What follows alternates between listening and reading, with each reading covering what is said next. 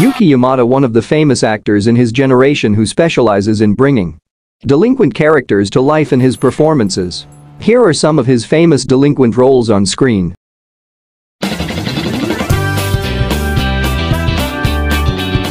In Hot Road movie, Yuki appears as Kinpa.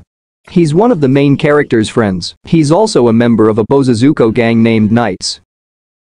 Yuki also appeared in Gachiban Ultramax. He's one of the youngest Yakuza members. He hates Hayato. The main lead of this movie series. He picks a fight with him every time they cross their path.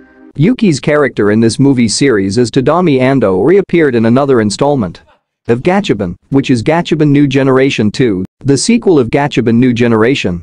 Tadaomi Ando quits Yakuza and decides to be a loan shark in Stray Dogz drama series. Same year in 2015, Yuki also played another delinquent character as Murayama Yoshiki in. High and low.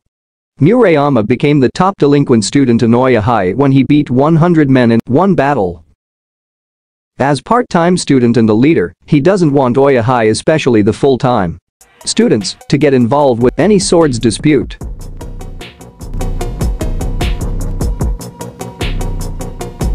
In Fugitive Boys, a 2017 drama series, Yuki played another villain role. He played as Hirano Ryumu. He encountered Mr. Kubota Masataka again through this series. In Demekin movie, Yuki take on the role of Atsunari, the best friend of Masaki Sada. They always spend their time in fighting and motorbiking. After middle school, Atsunari worked in a ramen restaurant. One day, he told Masaki to make their own biker gang.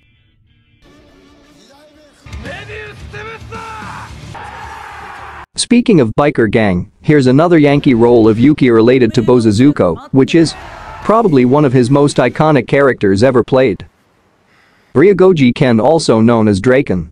He's the vice captain of Toman Gang and one of the founding members. There you have it. Who among these delinquent characters you like the most? Share your thoughts on the comment section, follow us on Facebook and subscribe our YouTube channel. Thank you for watching.